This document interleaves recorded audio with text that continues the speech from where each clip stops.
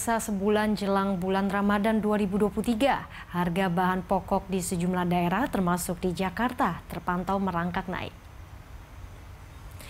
Berdasarkan pantauan di Pasar Mampang, Jakarta Selatan, harga bawang putih dan cabai rawit sudah mengalami kenaikan sebesar Rp10.000 selama sepekan terakhir.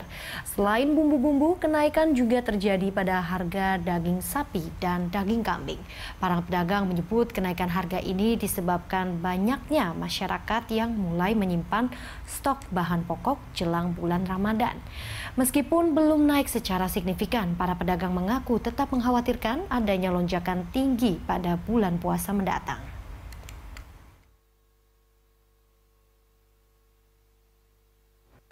Kalau cabai per kilonya sekarang udah 70. Oke, biasanya harga normal berapa? Biasanya 50 sekilo, uh -uh. yang yang udah dipetik 60, yang masih tangkaian 50. Itu untuk berlaku bawang merah, bawang putih atau dua-duanya? Bawang merah, bawang, bawang merah sekilonya 45, eh 50 sekarang. Hmm. Kalau untuk harga normalnya? Masih 50 juga. Oke, kalau harga cabai mas, cabai merah mungkin, cabai keriting? Tapi rawit ya lebih naik tinggi, 80 sekarang sekilo. Hmm. Kalau biasanya berapa mas? Biasanya 70, hmm. Kalau, kalau untuk telur, minyak dan lain sebagainya?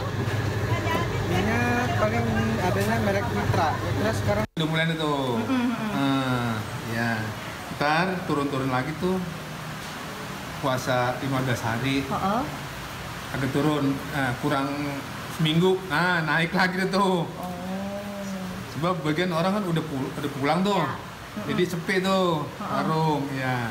Turun tuh dikit neng. Tapi dari pedagang sendiri kesusahan gak sih pak? Ada kesulitan nggak kalau misalnya ada kenaikan kayak gitu? Biasanya ya kalau yang langganan biasa sih belanja tetap biasa. Cuman kalau yang belanjanya ibu rumah tangga, wih naik lagi.